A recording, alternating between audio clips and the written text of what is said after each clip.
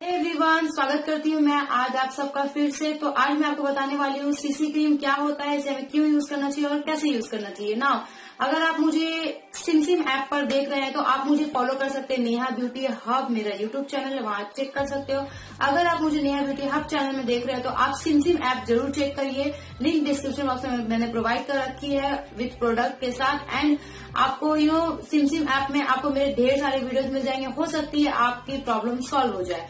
तो वीडियोस ज़रूर चेक करिएगा। तो आज मैं आपको बताने वाली सीसी क्रीम सीसी क्रीम का फुल फॉर्म क्या होता है, पहले मैं आपको वो बता देती हूँ। एक्चुअली इसे तीन नामों से जाना जाता है।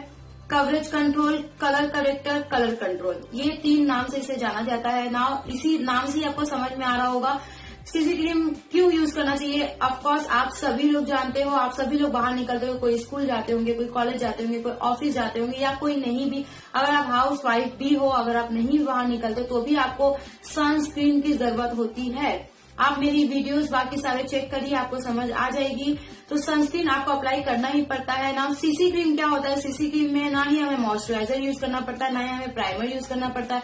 और ना ही भारी भरकम वाला फाउंडेशन यूज़ करना पड़ता। है ये थ्री इन वन है मतलब ये तीनों का काम करता है। तो मैं जिसकी बात कर रही हूँ, वो है लैक्मी की सीसी क्रीम मेरी फेवरेट सीसी क्रीम है। तो everyday you know everyday foundation कौन अप्लाई करेगा? Moisturiser then primer then concealing then then foundation इतना इतना टाइम किसी के पास भी नहीं होता है। एंड मैं बोलूँगी इतना मेकअप एवरीडे करना भी नहीं चाहिए। आप अपनी स्किन की केयर करो, ना कि एवरीडे इतना ज़्यादा हाई कवरेज मेकअप करो। ना, ये आपके ऊपर डिपेंड करता है, लेकिन मैं रिकमेंड करूँगी कि आप सीसी क्रीम या बीबी क्रीम यूज़ करें।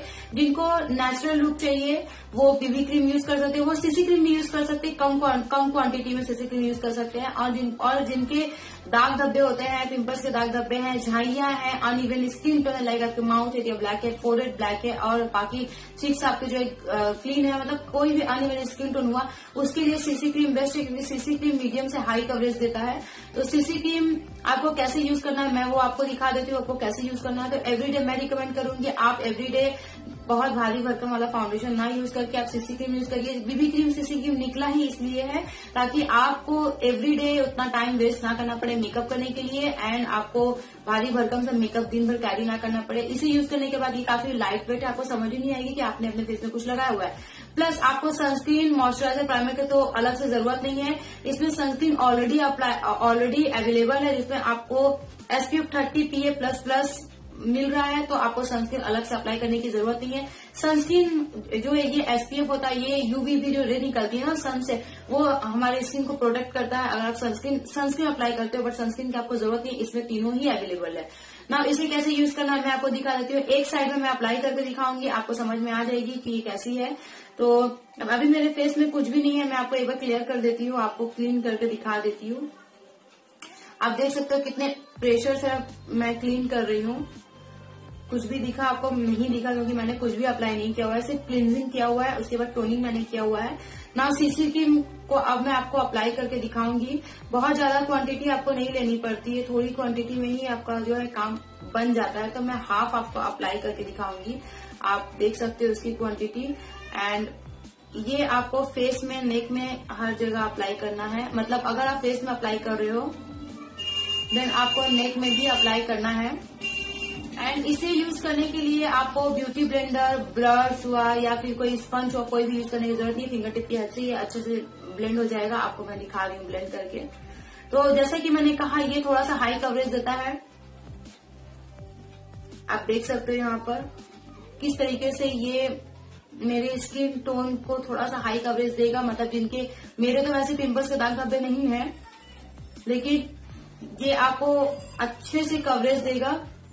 अगर आपको मीडियम चाहिए मीडियम कवरेज चाहिए तो इसको आप कम क्वांटिटी में ले सकते हो। जितना मैंने लिया, उसके अकॉर्डिंग आप कम ले लो, चलेगा। देन एक साइड के लिए थोड़ा सा ज़्यादा हो गया मेरे हाथ में एक्चुअली तो कोई बात नहीं, ये भी अच्छे से ब्लेंड हो जाएगा। मैं अब अपना दूसरा हाथ यूज़ कर रही हूँ, क्योंकि इसमें ऑलरेडी है, जो कि ज़्यादा हो जाएगा तो वो नहीं करना है हमें। ओके बाकी आई पेपर में अप्लाई कर ले रही हूँ ये। तो आप देख सकते हो फिंगर टिप की हेल्प से ये कितने अच्छे से ब्लेंड हो गया है। लाइट इश्यू हो रही है। ओके मैं यहाँ पर मैंने अप्लाई कर लिया है और आप देख सकते हो इसकी जो कवरेज है वो आप देख सकते हो।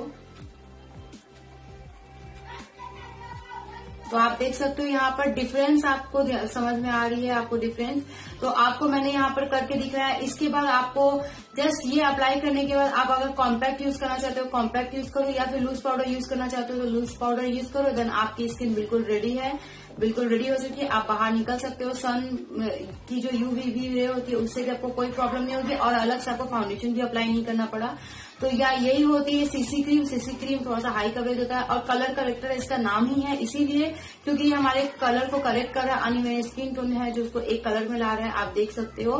तो जिनको बहुत हेवी नहीं चाहिए मेकअप ऑफकोर्स वो ये आराम से लेकर यूज़ कर सकते हैं। तो डेमो मैंने आपको अभी अपने सामने करके दिखाया तो वीडियो आपको हो अच्छा लगा होगा, पसंद आया होगा।